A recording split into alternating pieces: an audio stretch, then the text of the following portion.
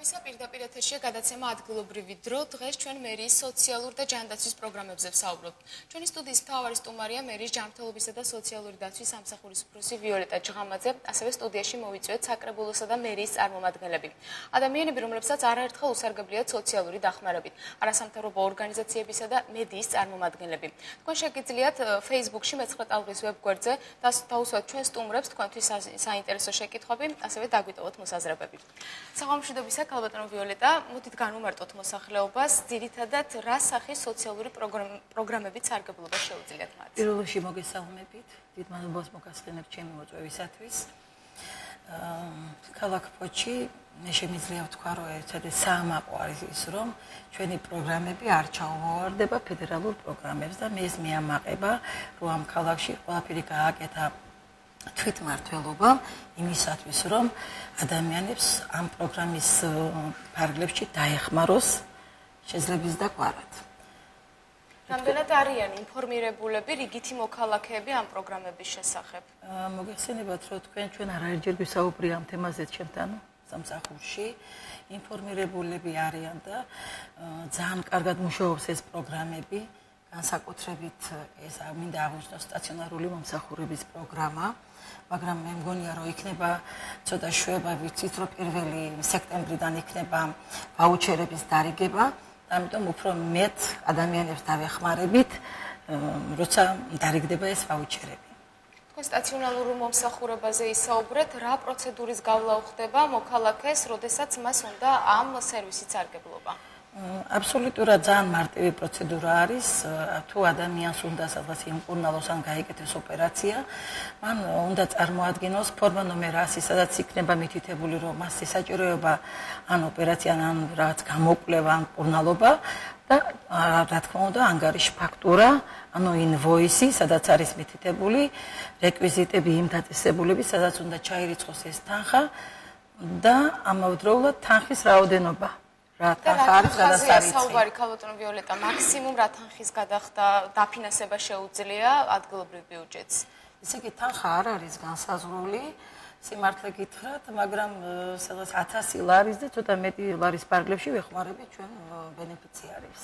და ეს როგორ ხდება? პაციენტ შეუძლია მხოლოდ ერთჯერადად მიიღოს ეს დახმარება თუ საჭიროების შემთხვევაში კიდევ შეუძლია გამოყენება? ეს მე გეტყვით, რომ ეს მაინც ერთჯერადი დახმარება არის, ახლა ორჯერ ხო არ გავუკეთებთ პაციენტებს ოპერაციას, მაგრამ ერთჯერადი დახმარება რა თქმა უნდა პრობლემის გარეშე დაწერს განცხადებას, საბუთებს წარმოადგენს ჩვენ ყოველთვიური კომისია, შესაძლებელია თვეში ერთჯერ ან ორჯერ და იმ იმის დამიხედვით ვრიცხავთ, ან ორჯერ ვახდენიან შემთხვევაში თუ თუ არის განსაკუთრებული რაღაც შემთხვევა და სასწრაფო ოპერაცია სჭირდება პაციენტს და ასე ვარეგულირებთ.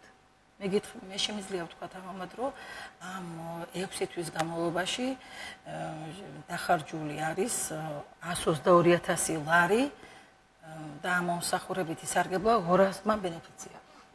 გასაგებია ჩვენ საუბრობთ მოქალაქეების ინფორმირებულობაზე, ძირითადად რა ფორმით ხდება მათთვის ინფორმაციის მიწოდება? ჯერეთი და მასმედიის საშუალებით კი იცით ტელევიზიაში სულ გამოვდივართ ამის ამის თაობაზე, მეორედ ეს ადამიანები მიმართავენ სოციალურ საკითხთა კომისიის თავმჯდომარის საკრებულოში მიმართავენ მერიას, მოდიან ჩვენთან, ინფორმირებულები არიან მუნიციპალიტეტის თავმჯდომარეები და თანამშრომლები და ეს მუნიციპალიტეტებს უფრო მეტი კონტაქტი აქვთ მოსახლეობასთან, რა თქმა უნდა, და მათი შუამდგომლობით ხდება ეს დახმარებებიც.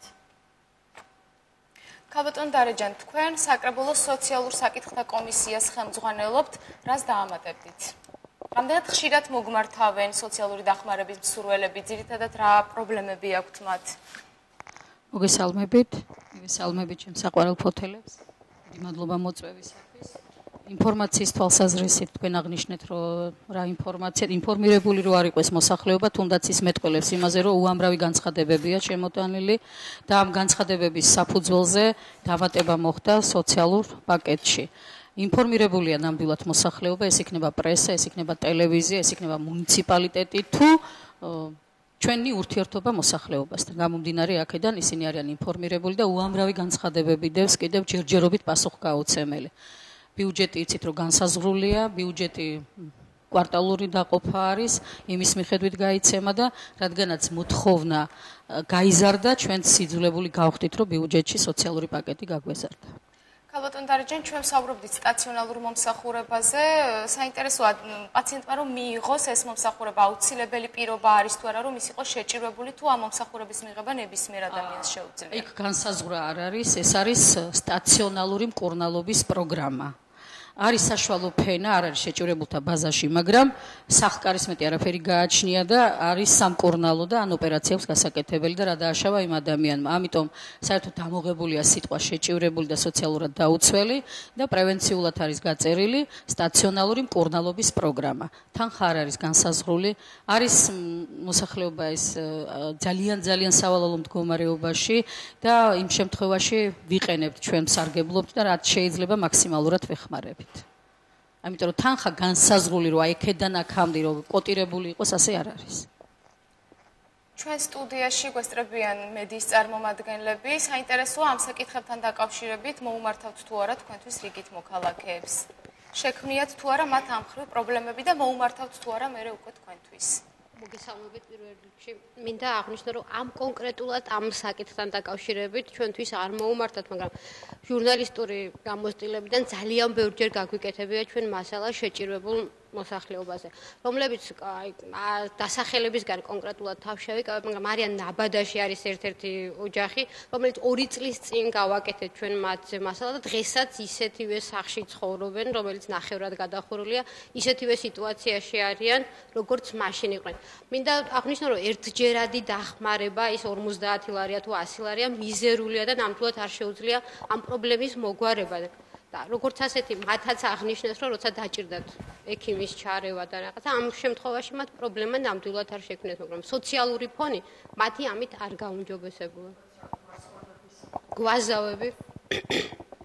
ეს მობილი გვარია მეგონა ელზა გისმენთ ჩვენ გვესწრება სტუდიაში მთავარი გაზეთის სამეგრელო ჟურნალისტი ელზა შონია.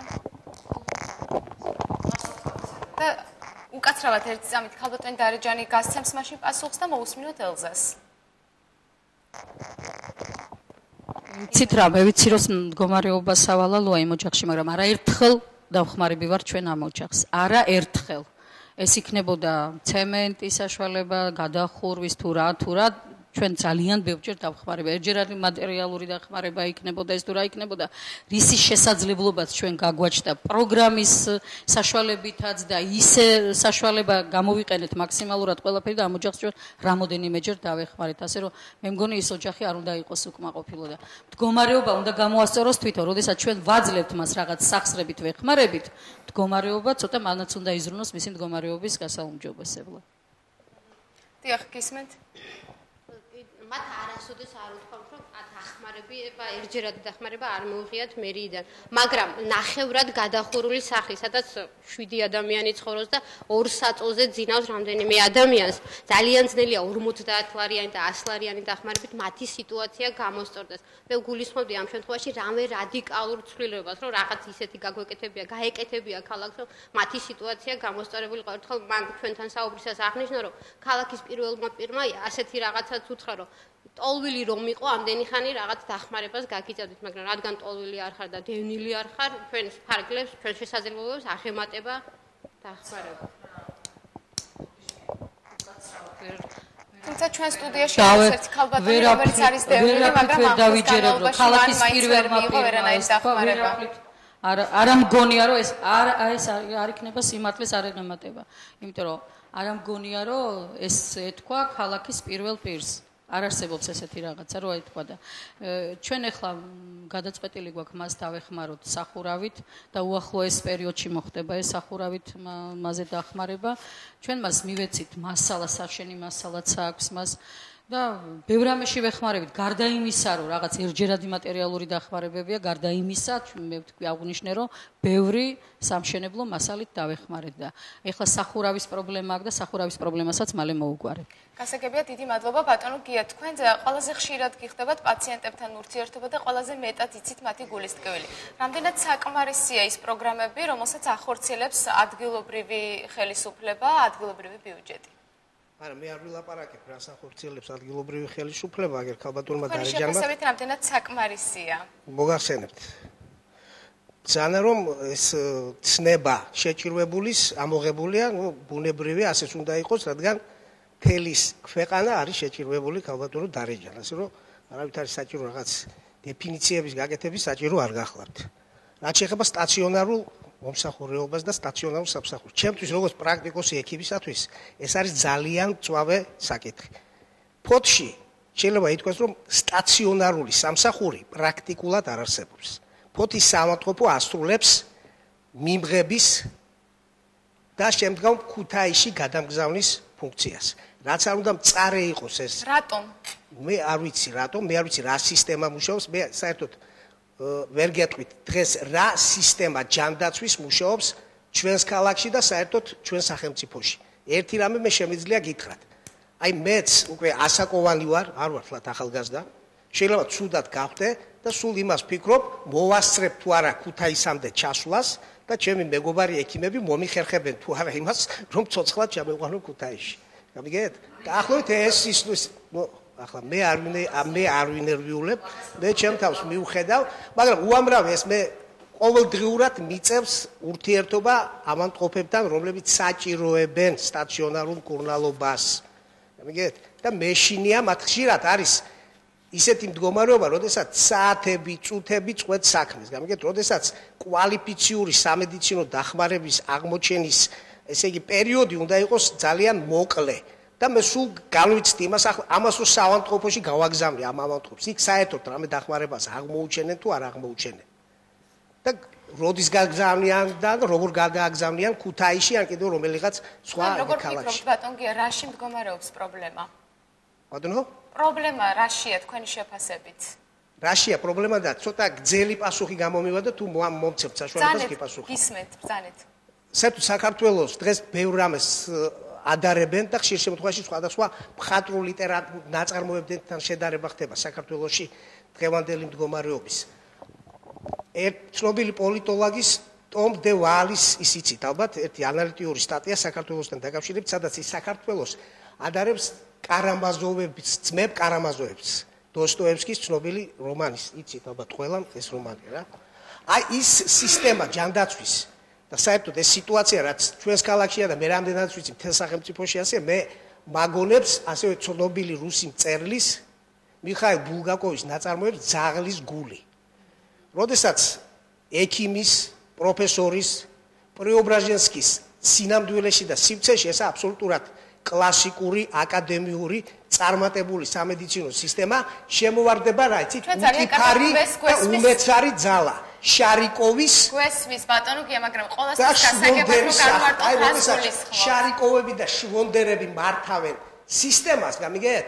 როდესაც ისინი წვეტენ რამეს რა თქმა უნდა ასე იქნება ყველაფერი. მე ნამდვილად არ მეგონა რაღაც მისიონერში შემოტანა.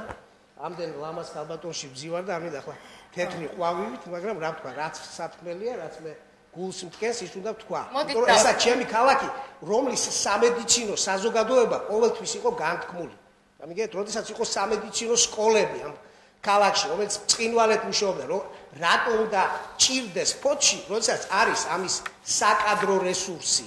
რატო უნდა ჭირდეს ბატონო, კი, გასაგებია თქვენი პოზიცია, მოდით დაუბრუნდეთ თემას ადგილობრივი ხელისუფლების როლი სტაციონალური ხარჯების დაფარვისას.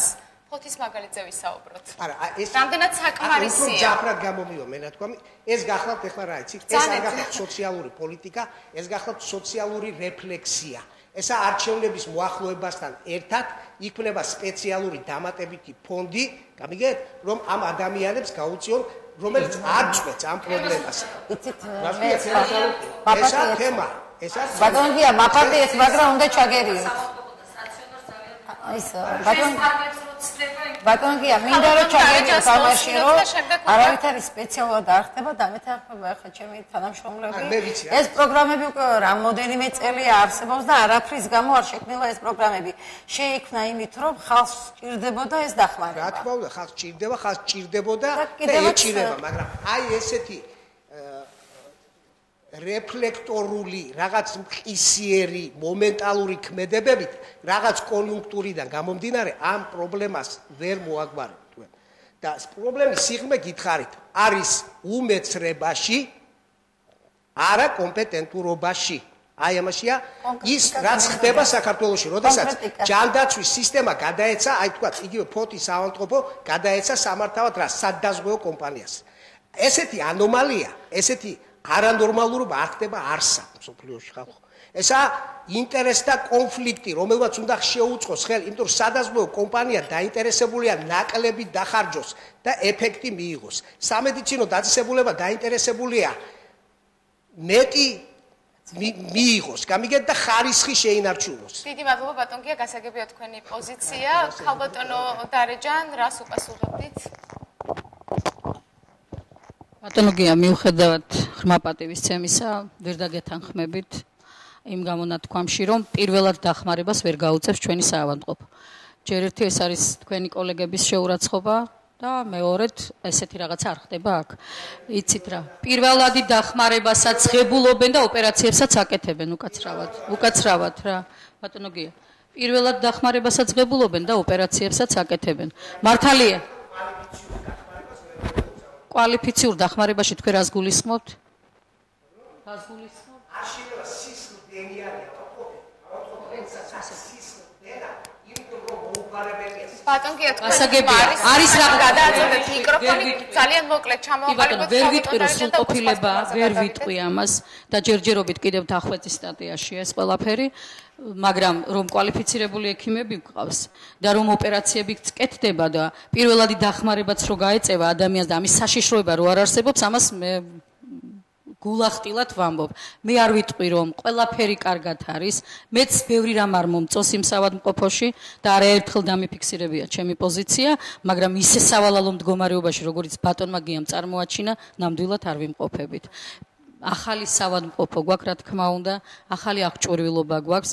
რაღაც რაღაცის დეფიციტებს განვიცდით, მაგრამ შეივსება და იმიტომ რომ დახვეწი სტატიაშია ეს ყველაფერი კიდევ ახალი კომპანია, ახალი მიდგომებია, რეფორმებია, ყველაფერი ერთბაშად არ იქნება ბატონოგია და ცოტა გვაცალეთ ჩვენც ვითით რომ ბევრი გასაკეთებელი გვაქვს. ბევრი გაკეთდა და ბევრი გასაკეთებელი გვაქვს და ნუ ჩამოვიფარებთ რა ფარდას და ისე ნუ შევხედავთ ყველაფერს. ცოტა ვია ჩვენ ახლა რაც შეეხება პროგრამებს ბატონო გია ეს არ არის წლევანდელი და შარშანდელი ეს წლების განმავლობაში მოდის ეს პროგრამები მე მეორე მოწვევის საკრებულოს წევრი წევრი ვარ და ეს პროგრამები მაშინაც იყო იმ პირველ მოწვევაში და ეხლაც არის და პირიქით ყოველდღე უმჯობესდება პროგრამები და მე მაგალითად სადაც არ უნდა წავსულიყავი შეხვედრებზე ამ ჩემი პროგრამებით ყოველთვის თავი მომქონდა იმიტომ რომ შედარებითია ყველაფერი და ფოჩი რო პროგრამებია სოციალური და ჯანდაცვის პროგრამები შემიძლია თამამად თქვა რომ ისეთი პროგრამები შეიძლება ბევრ დიდ ქალაქებს არ ქონდეს. ხა მე არ შევადარებ დედაქალაქს ნამდვილად თავს, მაგრამ ნამდვილად არ არის სხვაგან. და ეს არ არის დღევანდელი და ხვალინდელი და რაღაც საჭიროების მიხედვით. ეს არის, როდესაც ბიუჯეტი დგება, ჩვენ შეხვედრებს ვაკეთებთ მოსახლეობასთან და მოსახლეობის დაკვეთით ხდება ეს ყველაფერი. ჩვენ ძალიან კარგად გვესმის, რომ სოციალური ფონი არის დაბალი და ამ სოციალურ ფონს უნდა გამკლავება და ეს არის ერთადერთი მიზეზი იმ სოციალური კარგი პაკეტისა, რომელიც დღეს გვაქვს ჩვენ წარმოქმნილი. მე ბატონკია ძალიან მოკლედ უპასუხებ და ბატონ გარეჯას არ უპასუხებ.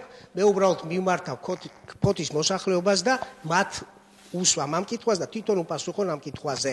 გძნობენ ისინი თუ არა თავს უფრო დაცულად უფრო უზრუნველყოფილად აკმაყოფილებთ თუ არა მათ ის მოცულობა თქვა სამედიცინო დახმარების რაც ტარდება ქალაქის სამწყობოში. აი ეს ნუ ჩვენ ისინი ვერ გიპასუხებენ, თუმცა შეუძლიათ მოსაზრებები ჩვენი მეცხრეტალობის Facebook-ის ისინი ამას და უპასუხო თავის დასკვნები თვითონ გააკეთო. დიდი მადლობა. ჩვენ სტუდიაში გვესწრება სოციალური მომსახურების სააგენტოს ფოთის განყოფილების უფროსი ინგა ღვინჯილია. ინგა ძალიან ხშირად ყოფილა შემთხვევები, როდესაც თქვენი სამსახურის მიერ გამოთვლილი ქულების შედეგად ბევრ მოქალაქეს ჩამორთმევია პოლისი. ამასთან დაკავშირებით რა შეგიძლიათ გითხრათ? მოუმართავს ალბათ ბევრ მოქალაქეს ამ პრობლემით და ბევრი უსიამოვნო სცენაც ყოფილა ალბათ თქვენთან სამსახურში ამის გამო. რას გვეტყვით? პირველ რიგში მინდა მოვესალმო მაყურებელს ფოთის მოსახლეობას და რაც შეეხება შეკითხვას მინდა გითხრათ რომ არც ლადისია საქმე როგორც ჩვენ საუბრობთ, არაერთი მადლობა მიმიღია მოქალაქისგან, რომელიც დაბრუნებულა და უთქვამს, რომ თქვენი პოლისით გავიკეთე, ну, რამოდენიმე ათასიანი ოპერაცია და ძალიან კარგად გამოიყურებოდნენ. ну რა ვიცი ახლა სიტუაცია ბევრნაირი მომხდარა არის რომ ადამიანის ეკონომიური მდგომარეობა გაუმჯობესებისაკენ მიდის ну ყოფილა სხვადასხვა მომენტები მაგრამ არც ისეთი საღ გასაგებია დიდი მადლობა. ია როგორც ვიცი ჩვენ გაქვს ძალიან საინტერესო ისტორია როდესაც პრობლემის მოგვარებას უფრო მაღალ ეშელონებში ეცადე თუმცა პრობლემა ვერ მოაგვარე როგორ იყო რომ მოგვიყვა ეს ისტორია მოკლედ? მოგესალმებით. მე მგონი მე უფრო ყველაზე მეტი შეხება მაქვს ჯანდაცვასთან ვიდრე სხვას და შემიძლია ვთქვა რომ ძალიან კმაყოფილი ვარ სადაც მივედი ყველგან ყურადღებით მომისმინეს მიმიღეს გამიკეთეს რა საჭირო იყო. პლუს ამას ქალბატონმა ინგამ ახლა პოლუსიც დამინიშნა რითიც მადლობელი ვარ და საგებოდ მე მგონი ისტორია როდესაც შენ გარკვეული პრობლემები შეგექნა და მინდა რომ მოყვე ეს ისტორია შენ ჩვენს ქულა მომივიდა დიდი ცოტა ოჯახური რაღაც მიზეზების გამო.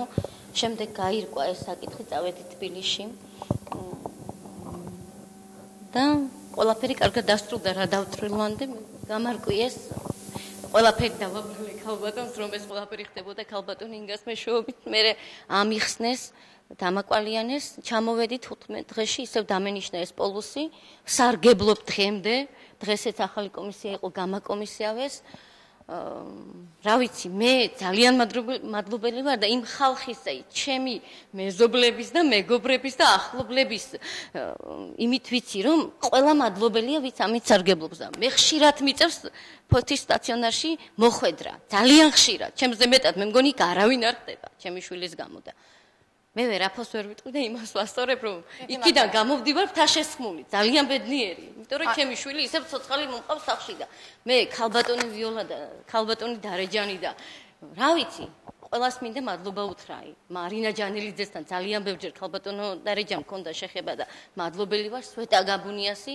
ეხა დღეს ძალიან გამიხარდა ქალბატონი ინგას ნახვა და აი პირადად უხდი მადლობას და ერთი რომელიც მას არ მასვენებდა და მინდოდა მეთქვა ქუჩაში ვნახავდი დავდომილს გაჭირებულს რეკავდი მეცხრე ტალღაში. მე მგონი ძალიან ხშირად ჩემი ზარი აქ შემოდიოდა რომ თქვენ მიგეხედათ იმ გაჭირებულისათვის. და ყოველთვის მადლობელი იყვნენ. რა ვიცი ძალიან დიდი მადლობა ყველას. მე პირადად გიხდით მადლობას. და ჩემნაირი რამდენი დედა იქნება მე არ ვიცი. დიდი მადლობა. ქალბატონო მანანა თქვენ რამდენად ხშირად სარგებლობთ სოციალური დახმარებებით და თქვენთვის და თქვენი ოჯახისთვის რამდენად დიდ შეღავათია ეს მოგესალმებით. ფარდევნელი აფხაზეთიდან მანენა წოწორია ჩვენ ძალიან ხშირად სარგებლობთ ჩანდაცვის კუთხით. ძალიან დიდი დახმარება გაუწევიათ მართული ქალაქის. ქალბატონ ვიოლასგან ძალიან დიდი მადლობა. მერს. ერჯერადი დახმარება ერჯერადი მიკროფონი თქვენი ხმა ძალიან ცუდად ისმის ერჯერადი ღია ერჯერადი მატერიალური დახმარება. შეშის თაც დახმარებია ბევრჯერ ჩვენ ჩვენ კუთხეში ძალიან ბევრი სოციალურად დაუცველი ფენა ცხოვრობს, რომლებიც ძალიან კმაყოფილი არიან აგრეთვე ამ ხრივ ამ კუთხით. მაგრამ აი დღემდე აი ჯანდაცვა სოციალურ კუთხეს რას შეხება, ყველანაირად მადლობას უხდი და განსაკუთრებით დიდი მადლობა მინდა გადავხადო საკრებულოს წევრს ვახო დახციმელიძეს ქალაქ ფოთის ტოლთა პოლიკლინიკის უფროს ვიტალი წულაიას. ძალიან დიდი მადლობა ამ ხალხს ძალიან დიდი დახმარება გაგვიწევს. იქნებ მოგვიყვეთ ქალბატონო ვანანო, რა პრობლემები გაქვთ, რა პრობლემებით მიმართავთ ხელისუფლებას? რომ ოჯახში სამი ინვალიდი ვართ. დედაშვილი ვართ, ეპილეფსიით აბად. მე მეშველა, მაგრამ დღემდე უფროს ბიჭის აქვს წუთიერი ეპილეფსიური გათიშვები და მუდმივ საჭიროებს მედიკამენტებს, ძალიან ძვირად ღერებულს. და მიუხედავად იმისა, რომ მეუღლე ქალაქის სპორტში მუშაობს, მაინც ვერ წვდება აი ოჯახის იმას ვერ ფარავს და ძალიან ხშირად გვიხდება ამ ჯანდაცვის კუხტი დახმარების ისე და რასაც დადებითად პასუხობს ამოდგომას და მხარდაჭერას თფილად მიღებას ყოველთვის გრძნობ.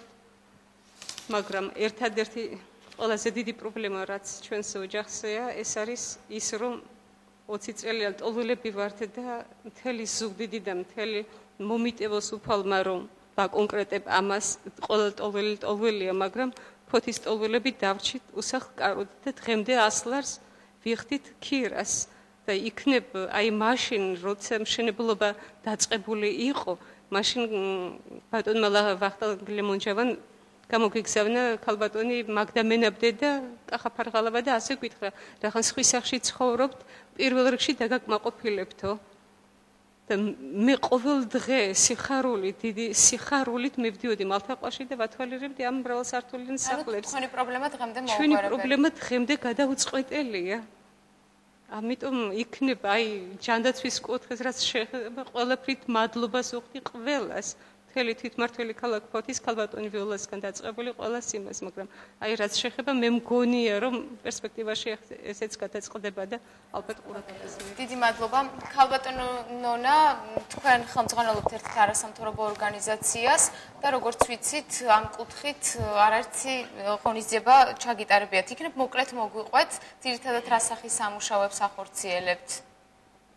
პირველ რიგში მოგესალმებით მოტვისათვის და მინდა აღვნიშნო, რომ ჩვენი ორგანიზაცია 2003 წლიდან ჩამოყალიბდა, რომელიც დღემდე აი შეძლებს დაგვარად შეძლებს დაგვარად, რასაც ქვია, დავაკონკრეტებთ, რომ უწევთ დახმარებას შეჭირებულ ხალხს.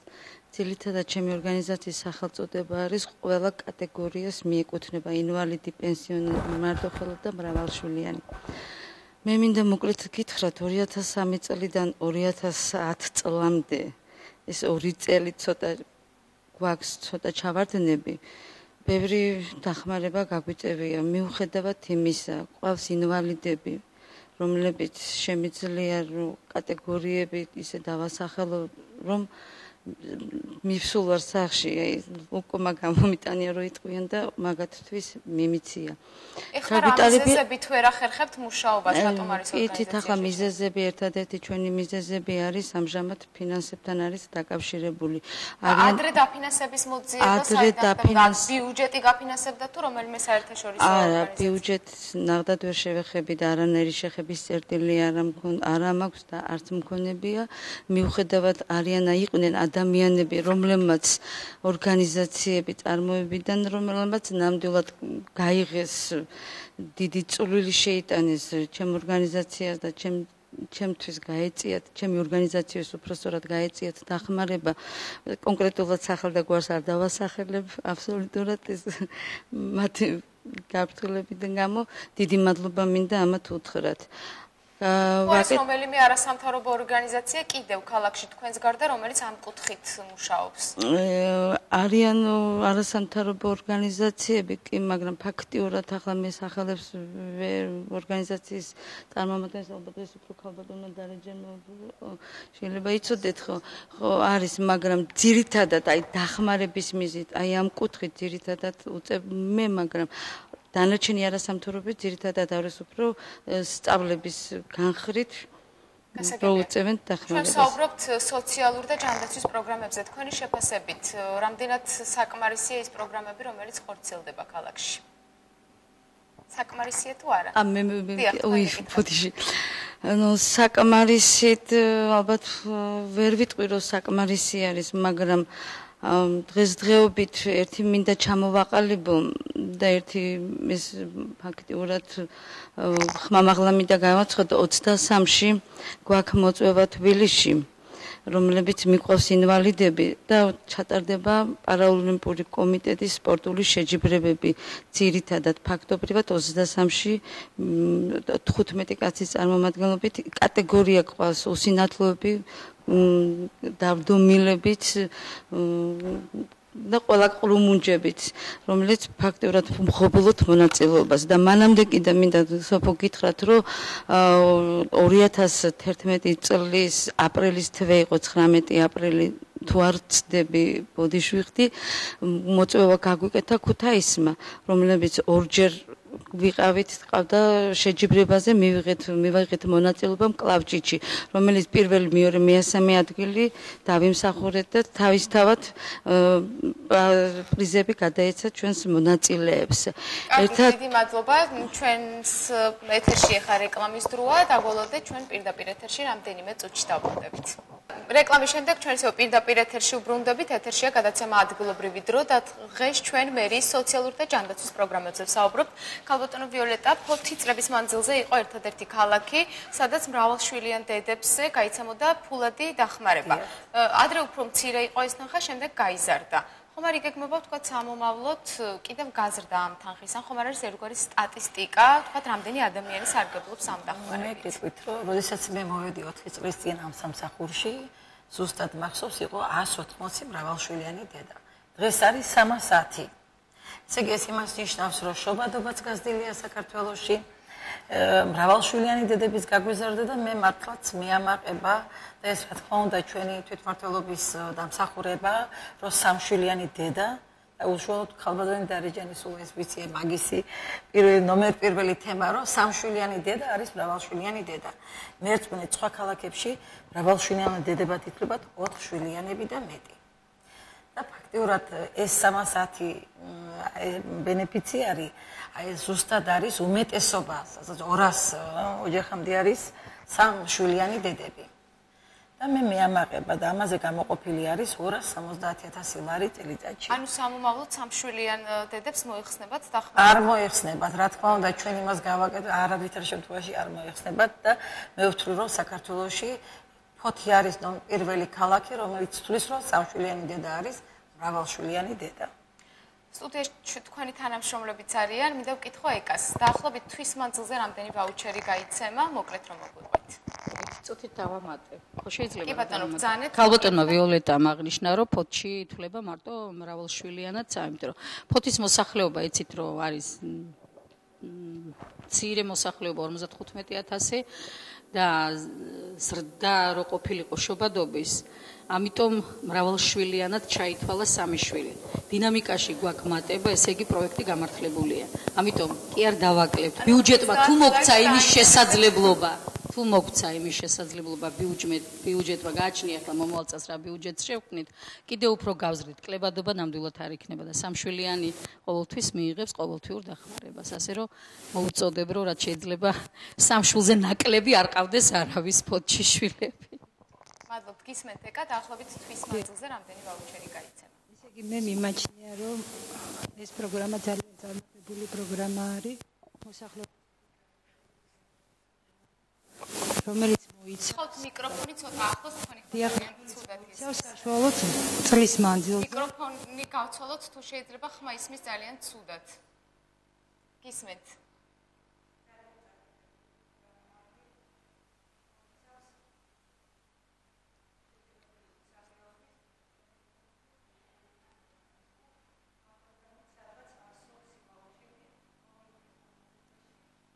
ეწოდებათ ჩვენს ბენეფიციარებს. ძირითადად გათვლილია აი მუნიციპალიტეტების შეჭრებული კატეგორიებისათვის და ძალიან თუ შეიძლება ცოტა ახლოს მიკროფონი ქალბატონო ძალიან კმაყოფილებიც არიან ჯანმრთელობის მდგომარეობაც გაუმჯობესებულია ჩვენი ბენეფიციარების და ჩვენც ის გვინდა რომ მატერიალური კეთილდღეობა გაუმჯობესდეს ამ ქალაქში და ჯანმრთელობის მდგომარეობებით გამოსწორდეს. დიდი მადლობა. ქალბატონო ელისო, როგორც ვიცით, ყველა ახალშობილზე გაიცემა ერთჯერადი მატერიალური დახმარება. რა პროცედურების გავლა ამისთვის საჭირო და რა პრინციპით ხდება თუ ეს ყველა ახალშობილზეა გათვალისწინებული? აბსოლუტურად ყველა ახალშობილი ღებულობს ასლარიან მატერიალურ დახმარებას ერთჯერადად. თვეში დაახლოებით 20-25 ახალშობილი გვყავს. პროცედურები ხდება ესეთნაირად, რომ ჭირდება განცხადება მერის სახელზე, თვითმართველობაში წერება. ესე იგი თან უნდა ახდეს ბავშვები ბავშვის დაბადების მოწმობის ასლი, მშობლების პირადობის მოწმობის ასლები და შემდეგ პროცედურა მარტივი აღებულობენ ასლარიან დახმარებას. მშობელი არ არის ინფორმირებული ამის შესახებ, რა ვადაში შეუძლია მას ამ თანხის აღება? წლის განმავლობაში. წლის თუ დევნილია დედა ან мама ამ შემთხვევაში როგორ? მაინც ღებულობს, მაინც ღებულობს ჩვეულებრივად, რეგისტრირებული თუ აქ ქალაქ ფოთში და არის ფოთის დევნილი, ღებულობს ჩვეულებრივად. დიდი მადლობა. ელზა შონია გვესწრება ჟურნალისტი სტუდიაში მთავარი წარმოადგენთ თქვენ თავი და გისმენთ ძირითადად გიხდებათ თუ არა სოციალურ თემებზე წერა და ძირითადად რა პრობლემებს აწყობებით? ძალიან ხშირად წერ ჩვენ ამ თემაზე, თითქმის ყველა გაზეთში თითქმის ყველა ნომერში, აი, ჩვენი გაზეთი პერიოდულობას არ არღვევს, თვეში 4-ჯერ გამოვდივართ. თითქმის ყველა ნომერში გვაქვს სოციალური თემა, გვაქვს სტატისტიკური, ესე ვთქვათ, ჩვენი დაკვირვებით ფოდში ამდენი პროგრამების მიუხედავად არ გაუმჯობესებულა ძალიან ბევრი ადამიანის ცხოვრება. და ძალიან ბევრი ქალაქში რომ გავალთ ამ სიცხეში 40 გრადუს სიცხეში ჩვენ სანაკებო ხიდზე რომლითაც ვამაყობ და ძალიან გავალამაზეთ მომრავლდნენ ხელგაშვერილი ადამიანები. და როგორც აღმოვაჩინე მე მასალის მომზადებისას ესენი არიან ახალი რაიონიდან დევნილები და აგრეთვე ფოთელები. ეს ჩემთვის როგორც ადამიანისთვის იყო ძალიან სამწუხარო. აი ძალიან განვიცადე და მართლა ქალბატონ დარიჯანთან ვიყავი ამ თემაზე. მაშინ მან ისაუბრა სწორედ ამ პროგრამებზე, ამ დახმარებებზე.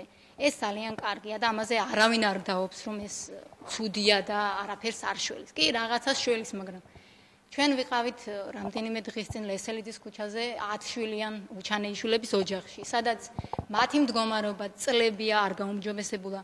ყავს ოჯახს ახალგაზრდა, ჯანღონით სავსე мама, რომელსაც შეუძლია იმუშაოს, მაგრამ ვერ შოულობს სამსახურს. მისი მთავარი პრობლემა არის ეს, ის ამბობს, რომ მე არ მჭirdება არავისი დახმარება, თუ კი მე მექნება სამუშაო.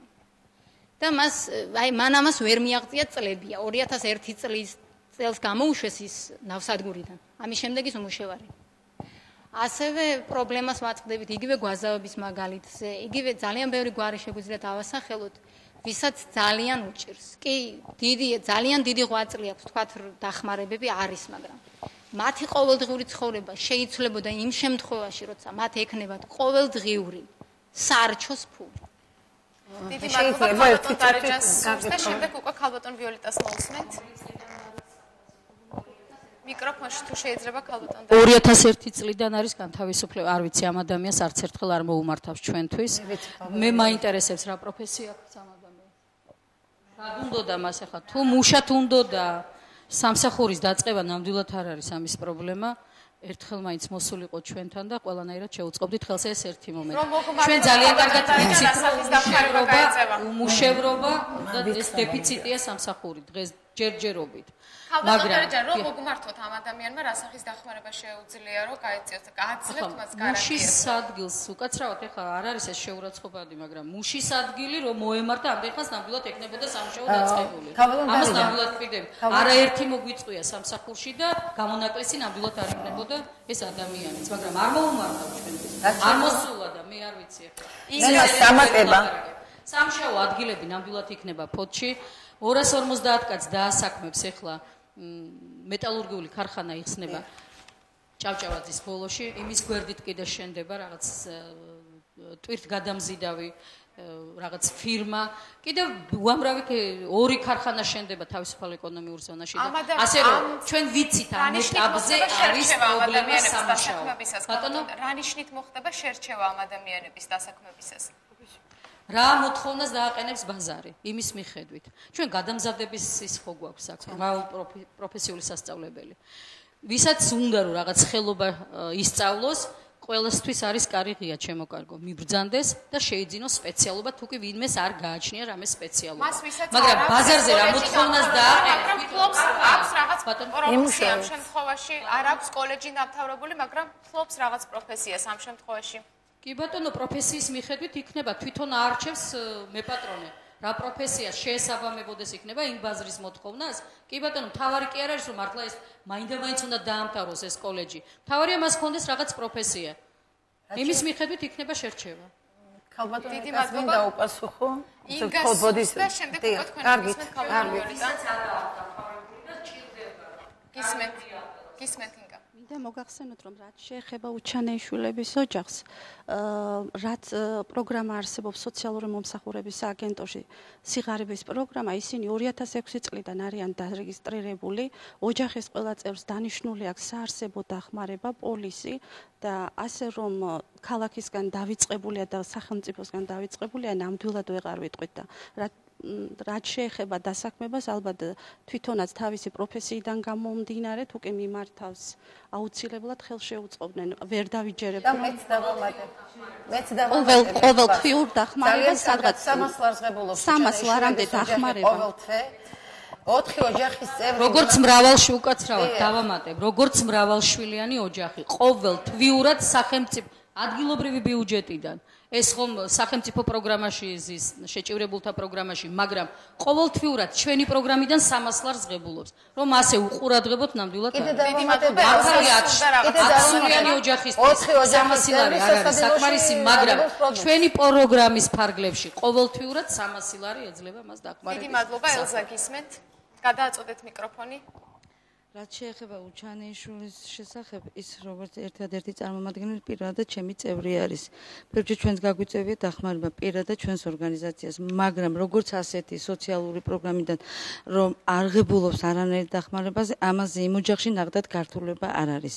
ქართულება ერთადერთი რაც არის, მე შემიძლია თამამად თქვა, რომ სამსახურის ბევრჯერ მისულა თვითმართველი ჩვენს მერთან ძალიან ბევრჯერ მე შემიძლია დავასდასტურო მიუხედავად იმისა დღემ ბევრჯერ მეც მიყოლი ვარ მიუხედავად იმისა ბევრი წერილებიც მაგ გაგზავნილი მიმართი წერილებითაც მაგ მიმართვა მე პირადად გაკეთებული მარ დღემდე არის ძალიან სწორ რომ არ არიან დღეს სტუდიაში ჩვენთან უჩანეიშვილების ოჯახის წარმომადგენლები ფიქრობ მათ არგუმენტები ექნებოდათ ვიცი რომ ძალიან ცუდ პირობებში ხდებათ მათ ცხოვრება ელზა სურდა რაღაცის დამატება გისმენთ ელზა დავამატებ იმას რომ ამ ოჯახის мама მუშაობდა 4 თვე დარაჯად ხელფასი ქონდა 100 ლარი და ამის გამო 4 თვე მოეხსნა დახმარება ამის გამო უკვე ეს კაცი იკავებს თავს რომ თუ მე 300 ლარიან სამსახურს ვიშოვი დავკარგავ იმ 300 ლარს დახმარებას და დავრჩები ისე ამ სოციალურ დახმარებას გულისხმობ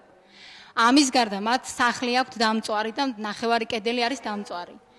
და ჩამოვარდნილი და აი უბრალო რაღაც გამონაცვალი ისიც რო იყოს, ესეც დიდი მიღწევა მათთვის რომ ამით მაინც გააკეთონ. რაც შეეხება პროფესიულ კოლეჯში დასაქმებას და თქვათ გადამზადებას, იმ მაქვს ის ინფორმაცია რომ მასალაზე მუშაობისას წავაწყდი დევნილებს, ოჯახს რომელსაც ეხლა ვერ დაგისახლებთ გვარს, მაგრამ ბავშვი 1000 ლარი მოთხოვეს რომ მიიღო სპეციალობა და ამის გამო გამოიყვანა. დიდი მადლობა. უამრავია ვიცით ასე შემთხვევაში თქვენ არაერთხელ გაგვიშუქებია ჩვენი გადაცემის დადასტურებული ინფორმაცია. ვიოლეტა რას დაამატებთ? ძალიან მოკლედ გადაცემის დრო იწურება. მე კონკრეტულ შუბოს დავას. კი ბატონო. ძალიან მოკლედ და შემდეგ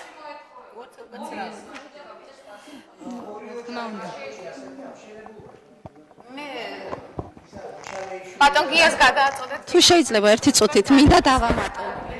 ძალიან მოკლედ, ძალიან მოკლედ. ის რაც თქვენ ბრძანეთ ქალბატონო, ნამდვილად არ არის რეალობა. ამ ოჯახს იმის გამო არ მოხსნია დახმარება, რომ ის ასლარიან გიპასუხებთ, გიპასუხებთ არც შეძენაზე. მინდა გითხრათ რომ იყო პერიოდი ყოველწლიურად ამ ოჯახს შეეძინა ბავშვი, ხდებოდა ბავშვის დეკლარაციაში ჩამატება და ის ქულის დათვლის პერიოდი იყო დახმარება შეჩერებული. მას შემდეგ როგორც კი მას ქულა ეთვლებოდა შეჩერების დღიდან აღუდგებოდა დახმარების მიღება. ასე რომ ჩვენთან არის როგორც 100 ლარიანი, 150 და 200 ლარიანი ხელფასის მქონე ოჯახები და დღეს მდგომარეობით მაგ ოჯახს რაც შეეხება დახმარება 300 ლარამდე ყოველთვის ქონდა და ასევე სამედიცინო პოლისით. ყოველთვის სარგებლობს. დამატება როგორც იცი? ბრძანეთ მიკროფონში.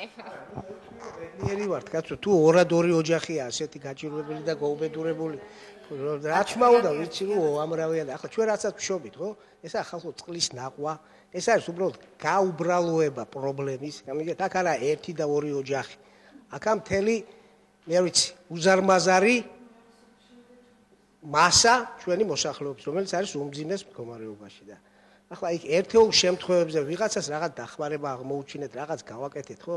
ეს არ წვეთს იმ უზარმაზარ პრობლემას რომელიც წინაშე დგას მთელი ჩვენი მოსახლეობა მე მინდა თქვენ გსურდათ რა მე მინდა საბოლოო ძალიან მოკლედ შემძანეთ რომ ახალი რაიონიდან იჯდან და მათხოვრობდა მე მინდა გითხრათ მამა და წინა გადაცემაში კიდევ თქვი 300-მდე ოჯახი ახალ რაიონში დასაქმებულია. კი მართალია ისინი გადიან ახლა ადაპტაციის პერიოდს და თვითმართველობის წარმოადგენლების ზიანი და პატარა ბავშვებით აკვალიანებენ და ტრენინგებსაც გადიან რაღაც უნარჩვევები რომ შეიძინოთ საერთოდ უსასყიდლოდ და მე ვიცი რომ ახალ რაიონიდან 15 ბავშვი დაფინანსდა თვითონ გადასცა ტოლთა და განსახლების მინისტრმა მათ ვაუჩერი რომ უფასოდ ესწავლათ და ეხლა არ ვიცი თქვენ რა კონკრეტულ შემთხვევაზე გაქვთ ლაპარაკი და მე რა თქმა უნდა ჩავინიშნავ ამ გვარს და რა თქმა უნდა მოვიძიე, მაგრამ ყველა პირობა კეთება ახალ რაიონში, რომ მოხდეს ამ ხალხის ინტეგრაცია ფოთის მოსახლეობასთან და იმიტომ ზიან ჩვენი წარმოადგენლები დღეს იქ, რომ თუ რამე ადგილი გამოჩნდება, თამამად მინდა შემიძლია ვთქვა, რომ საქმეა მხოლოდ და მხოლოდ ახალი რაიონის მოსახლეები და მე მგონი ამის დანახვა თვითონაც აღიარებენ. წინათ იყვნენ სტუდიაში და ეს არ უარყვიათ მათ. მე ვთქვი რომ რა თქმა უნდა ეს არ არის საკმარისი, მაგრამ იმედი მაქვს რომ მომავალში უფრო მეტი და მეტი უკეთესი პროგრამებიც გვექნება და დაგვისახება ჩვენი ჰოთელი მოსახლეობა. მე ამას თამამად ვიტყვი და დიდი იმედი მაქვს. ძალიან დიდი მადლობა ჩვენი გადაცემისთვის განკუთვნილი დრო ამოიწურა. მე შეგახსენებთ რომ პირდაპირ ეთერში იყო გადაცემა ადგილობრივი დრო და დღეს ჩვენ საუბრობდით მერის ჯანმრთელობისა და სოციალურ პროგრამებზე. მე ამით გემშვიდობებით ნახვამდის. Thank you.